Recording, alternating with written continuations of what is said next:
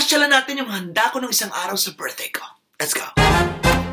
So it is my birthday celebration and I'm very proud to achieve this age. Because not everybody is privileged to reach 50s. And at the same time, you know, I will be growing old. Kala mo hindi pa old. I'm gonna grow old with gorgeous people like Tom Cruise, Brad Pitt, Sharon Cuneta, Marisol Soriano, Julia Roberts. So, elite circle.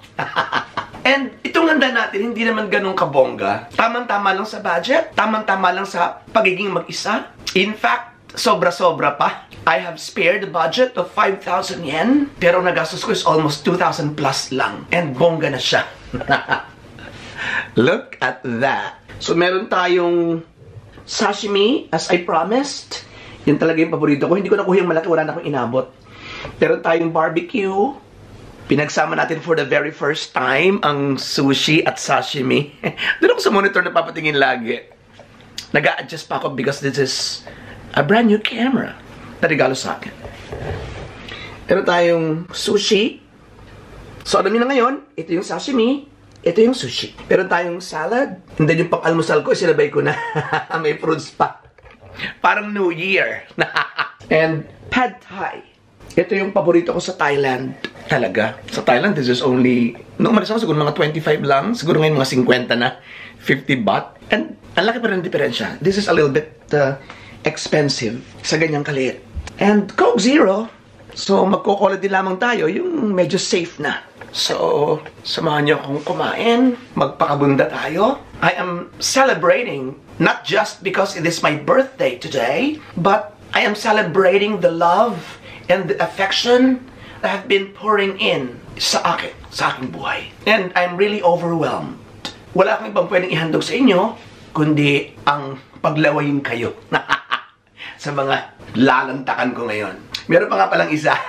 Kalimutan ko na. Meron pa tayong chicken. So, ito yung dinner ko sana. Pero, meron nga pala akong, ang tawag dito, sushi na kanin din. So, bukas na lang siya. Di ba may reserva pa tayo?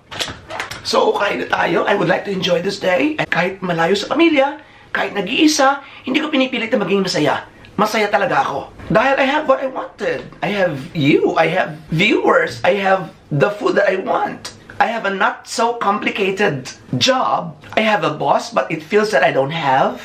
Ganong kagaan. I have my inay, I have my family, and patuloy tayo nakaka-survive sa malupit na labanan dito sa mundong ibabaw, you, you know, we must admit the fact that it is a very competitive world. At lahat tayo ay pumupukpok, lahat tayo kumikembot, lahat tayo lumalaban. Maraming manggagawang Pilipino sa buong mundo na hindi kasing gaan ng buhay ko. Maraming may mga masisalimuot na problemang nauukol sa relationship, sa puso, sa damdamin, meron sa trabaho, sa ibang tao, sa pakikitungo sa ibang tao, sa lokasyon. Maaaring ang iba sa kanila patuloy na tumatakbo sa araw-araw upang tumakas sa, sa mga gerang nililikha ng tunggalian ng prinsipyo at mga pananaw sa buhay, relihiyon at kultura. Maraming ganun. That's why ito ay celebration nating lahat na Pinoy saan man sa mundo na patuloy na nakikibaka para matulungan ang kanilang mga pamilya sa Pilipinas. Lantakan na natin ito. Ikakain ko na lang kayo kasi Gaya na sabi ko, para ito sa ating lahat. So ako na lang muna ang bahala. Mahar ko kayong lahat. Kain na tayo. Okay. Sauce!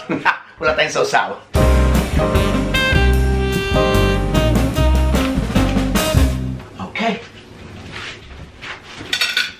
Ah, tumigas na siya. Masarap to. Kung may mga Thai restaurant sa malapit sa inyo, orderin nyo to.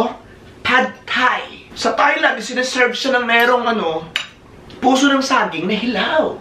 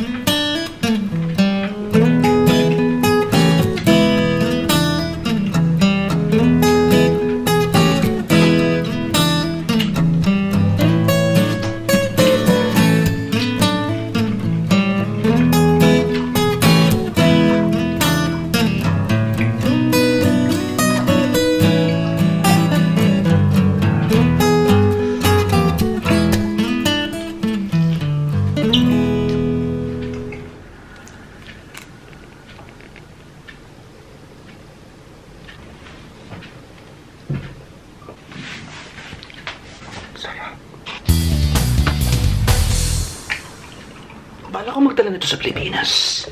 4 hours lang naman yung biyahe, so itatry kong magdala. Isama ko na lang sa check-in baggage ko. You know, I want to share with them the food that I enjoy to eat wh- wherever I am. Nung nasa Thailand ako eh, nagdadala rin ako ng mga pagkain galing Thailand. And this time alam ko hindi pa sila nakakatikim. Siguro kung meron man sa aming lugar, hindi ko sigurado kung meron ng sashimi or sushi store or restaurant. Pero palagi nang meron, siguradong mahal.